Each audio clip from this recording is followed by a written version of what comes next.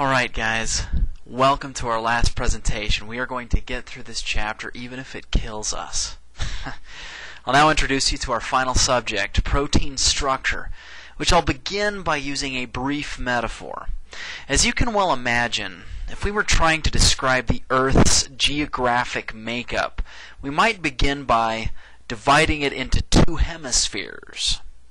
We could then divide each of those hemispheres into continents, and then divide up each of those continents into countries, and then each of those countries into provinces or states, and then each of those states into counties, and so on.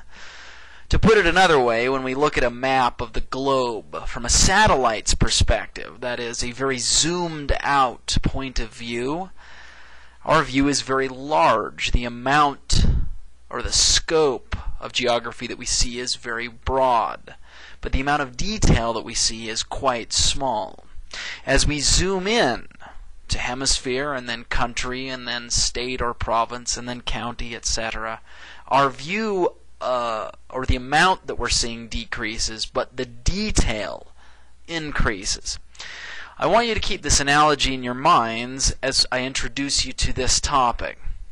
You see, we chemists like to describe protein structure also at different levels. We use four levels, in fact primary structure, secondary structure, tertiary structure, and quaternary structure. I'll now describe what each of these terms means. A protein's primary structure is the most detailed or zoomed in way of describing it. Simply put, the primary structure of a protein is its amino acid sequence. Now, proteins often contain hundreds or even thousands of amino acids, so determining that sequence can sometimes be a challenging task. This task is accomplished more or less by chemically tearing the proteins apart, identifying the resulting fragments' structures individually, and then figuring out, almost detective like, how those individual fragments went together in the original protein. I'll now introduce you to a few different ways that we tear proteins apart into individual fragments. The first thing that we do is we cleave or tear apart the disulfide bridges. So you might remember me talking in our previous presentation about how cysteine amino acids and peptides can bind with each other to form disulfide bridges. We can cleave that by treating uh, our protein initially with a compound called 2-mercaptoethanol, shown here, which happens to smell like diarrhea. Now, I just want you guys to know I don't really care if you know the sequence. I just want you to understand that the first thing that we do when we're trying to tear our protein apart is we get rid of those disulfide bridges. The next step we do is we take uh, or try to figure out the number and kinds of amino acids. This is done by breaking the protein apart into its individual amino acid components by heating the holy crap out of it with 6 molar HCl. So I might have a protein that's composed of hundreds or thousands of amino acids. I boil the snot out of it with aqueous HCl, and what it does is it breaks every single amide or peptide bond in the entire protein, hydrolyzes it to make uh, to give the individual amino acids all floating around in solution. Once I've done that, then I can figure out uh, what amino acids are present in that protein and in what amounts by taking this mixture of amino acids and putting it in an amino acid analyzer. Now, how that analyzer works is covered in section 23.5. I didn't discuss it, but if you want to, you're welcome to refer to that section. Once again, that analyzer tells us how many amino acids there are uh, of each type and what types there are present in this protein. Now, at this stage, we don't yet know what order the amino acids were in. All we know is which ones there were and in what amounts. To figure out the order that they're in, we have to take another sample of the original protein and start treating it with various reagents that selectively cleave or break apart specific peptide bonds, separating that protein out into individual fragments. These fragments can then be analyzed individually. It's much easier to analyze and figure out the sequence of a fragment than it is an entire protein. So we analyze the individual fragments and figure out what their sequences are, and then once we do that, we detective like go backwards and figure out how each of these fragments went together uh, to constitute the entire original protein. Now, there are numerous agents that we chemists can use to break proteins apart for chemical analysis. One of these is called Edman's reagent, which selectively removes a single amino acid from the N terminus of the protein. Now, we can see that in the overall reaction here. I have a peptide drawn here, which could be dozens uh, or even hundreds of amino acid acids long. This end, where the nitrogen is, you'll remember, is called the N-terminus.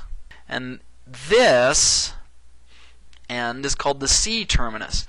Now, this squiggly line here represents all of the other amino acids in this peptide uh, that I really don't want to draw. This could be, once again, a few dozen. It could be dozens or hundreds of amino acids here. What I've done is I've just drawn the last two amino acids uh, on the N-terminus end of our peptide. So when I treat this peptide with Edman's reagent, what it does is it tears off the last amino acid on the N terminus. So in other words, it breaks apart this bond right here and leaves me this product 2, which you should notice is exactly the same structurally as my original peptide, except that it's one amino acid shorter. Where did that amino acid go? Well, it went into this product. So it's incorporated into this. This product 1 can be analyzed, and once we figure out what this R side chain is, we can determine the identity of the amino acid that was found here at the N terminus end of the peptide. So we've now figured out what the identity of the N-terminal amino acid was. What do we do now? Well, what we can do is we can take this product 2 and then treat it with Edman's reagent and cleave off this amino acid. Identify it. And then we can take the next product and treat it with Edman's reagent and figure out uh, and cleave off the uh, N-terminal amino acid of it and figure out what that amino acid was, and so forth and so on and so forth until we've sequenced or figured out what the identity is of every single amino acid in this entire peptide in order. Now, as you can probably imagine, doing this Edman degradation work is really impractical and tedious for large peptides of proteins. Uh, for large peptides and proteins, we instead use enzymes that are called endopeptidases that selectively break only one type of bond in the middle of the peptide chain somewhere. Now, there are numerous endopeptidases, but there are only two that I'm going to require you guys to know or be familiar with trypsin and chymotrypsin. So, trypsin selectively cleaves the amide bond on the carbonyl side, or on the right side, of these amino acids, lysine and arginine. Chymotrypsin does the same thing, except it only does it to the right side of phenylalanine, tyrosine, and tryptophan. Once again, I hope you understand what I'm saying. If I have an, a huge peptide and I treat it with trypsin, what happens is trypsin looks down that peptide. At anywhere it sees lysine or arginine, it just breaks the bond to the right of only those two amino acids and it doesn't touch any of the others. Chymotrypsin does the same thing, except it does it for phenylalanine, tyrosine, and tryptophan. So, are you ready for some questions? Good. Let's take a look at my first lecture problem for the day. I want you to give me the amino acid sequence of the hexapeptide. That is, a peptide containing six amino acids that contains arginine, glycine, isoleucine, leucine, proline, and valine and produces the following fragments when hydrolyzed with acid proline, leucine, glycine, arginine, proline, and glycine, isoleucine, valine. So, in other words, here, what is a peptide that has these six amino acids in it? We took that, uh, treated it with acid, and broke it apart into a couple of different fragments, and these are the three fragments. Can you figure out what the original order of the entire six membered long peptide was? I'll let you figure that out. Pause now if you want, because of course, I'm going to give you the answer momentarily. So let's now look at these fragments. You'll notice that these two fragments proline, leucine, and glycine, as well as arginine and proline, both contain proline. Similarly, these two fragments, proline, leucine, glycine, and glycine, isoleucine, valine, both contain glycine. So here's the deal. Because we are told in this problem that our peptide has six amino acids, and there are six different amino acids to choose from, it means that we couldn't have used any of these twice. So what does that mean? What it means is that I all I have to do is line these things up. I'll start with arginine proline and line it up with this fragment, proline, leucine, glycine, and then line this fragment up with glycine, isoleucine, valine.